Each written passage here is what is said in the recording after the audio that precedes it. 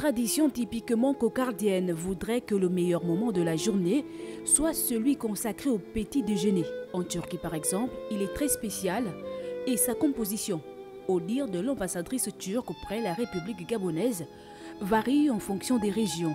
Euh, nous avons euh, bien sûr le petit déjeuner dans certaines régions à l'est où on consomme de la soupe, par exemple.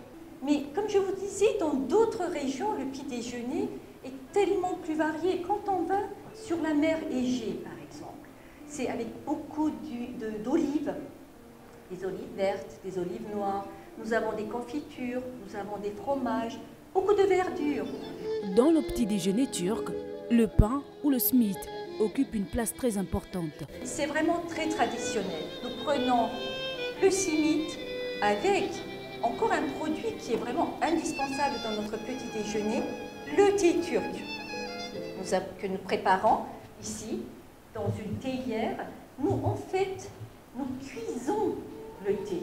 Nous mettons l'eau ici, le thé ici, et nous le mettons sur le feu, sur le feu et nous faisons d'abord bouillir l'eau pour ensuite le mettre au premier pot, petit pot, et on le laisse encore bouillir sur le feu pour que le thé s'ouvre et donne toute sa saveur euh, à l'eau.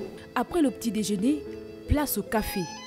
Cette tradition, ancrée dans le mode de vie des Turcs, est symbole d'hospitalité, d'amitié. Une amitié avec le Gabon particulièrement qui date de plus de 40 ans.